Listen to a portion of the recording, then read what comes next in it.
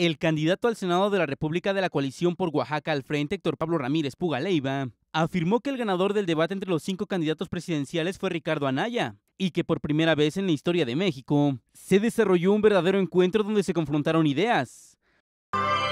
Es que las encuestas telefónicas del debate no hay lugar a dudas de que ganó Ricardo Anaya, no hay uno solo serio que te diga que ganó otro el debate.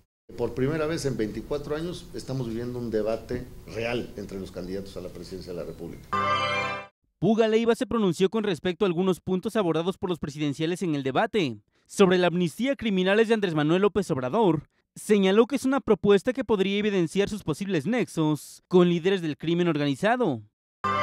La postura de Andrés Manuel en, el sentido de la amnistía para delincuentes y particularmente con los del crimen organizado, pues es algo, obviamente, que evidencia que hay una relación, o, podría haber una relación, al menos en la percepción, entre el candidato presidencial López Obrador y estas células del crimen organizado, que me parecería gravísimo que estemos pensando en eso cuando hay millones de familias o miles de familias o millones de personas que tienen eh, eh, seres queridos que fallecieron a causa de este, de este problema.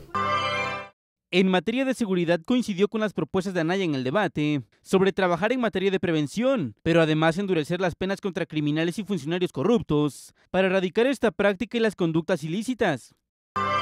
Mira, Ricardo Anaya lo dijo ayer con mucha precisión, la prevención es muy importante, pero también el, endurecer penas más severas contra quienes delinquen, eh, no solamente en términos del crimen organizado, sino también del combate a la corrupción. Si nosotros obligamos a que quienes cometen actos de corrupción tengan que regresar lo robado, que no haya prescripción, como lo dice eh, Perla, que eh, se revise eh, la ley de, extinción de dominio, que podamos nosotros endurecer penas para secuestradores, para feminicidas, ¿no? Me parecería muy importante que vigilando el marco jurídico podamos nosotros contribuir. Relacionado con la propuesta de cortar las manos a delincuentes de Jaime Rodríguez Calderón, consideró que es algo serio pues el Bronco representa la ideología de un gran número de mexicanos que lo apoyan, aunque señaló él no está de acuerdo con esta postura. Yo no lo tomaría como de risa. Eh, el Bronco es una gente que fue electa por un gran número de ciudadanos en Nuevo León. Seguramente, y, si tú revisas las encuestas, pues trae ahí un 5, entre 5 o 6% de la preferencia electoral. No sé si haya subido o bajado con sus propuestas. Habría que ver qué dicen los derechos humanos. Pero lo que sí te quiero decir es que el Bronco representa una parte, por mínima que sea, de lo que piensan los mexicanos. Y hay una parte de mexicanos que está eh, dispuesta a llegar hasta las últimas consecuencias, que yo no creo que sea lo mejor, ¿verdad?